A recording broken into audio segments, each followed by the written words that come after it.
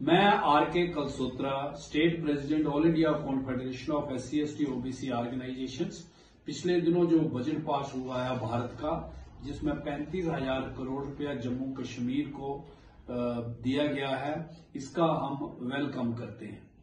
और साथ में एक सुझाव भी देते हैं, क्योंकि प्रधानमंत्री जी ने भी 370 हटाने पर यह कहा गया था कि जम्मू कश्मीर बड़ी बैकवर्ड स्टेट है हमारे एलजी मनोज सिन्हा भी कई बार कह चुके हैं और वाकया ही बैकवर्ड स्टेट है हमारा।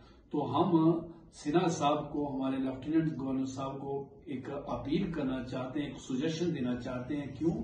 कि जो एजुकेशन है, जिस स्टेट की बेटर एजुकेशन होगी, वो स्टेट तरक्की करेगा, जिस कंट्री की बेटर एजुकेशन होगी, वो कंट्री भी प्रोग्रेस करेगा। तो हमारा स्टेट तो पहले ही पिछड़ा हुआ है। यहाँ बहुत बड़ा ड्रॉबैक है एजुकेशन में।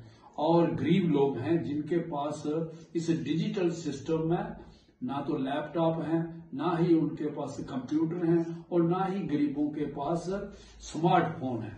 तो लिहाजा हमारा निवेदन रहेगा एल जी साहब से गुजारिश रहेगी कि ये जितनी भी entire S C S T OBC और रिज़र्व कैटेगरी है, जिनको आप जो एलिजिबल हैं स्कॉलरशिप लेने के लिए, आप उन सबको इस पैंतीस हज़ार करोड़ रुपए में से सब स्टूडेंट्स को एक स्मार्टफ़ोन जो है मुहैया करें, ताकि वो कोप अप करें जो स्टडी में वो पीछे रह गए हैं, जो सर्वे भी है।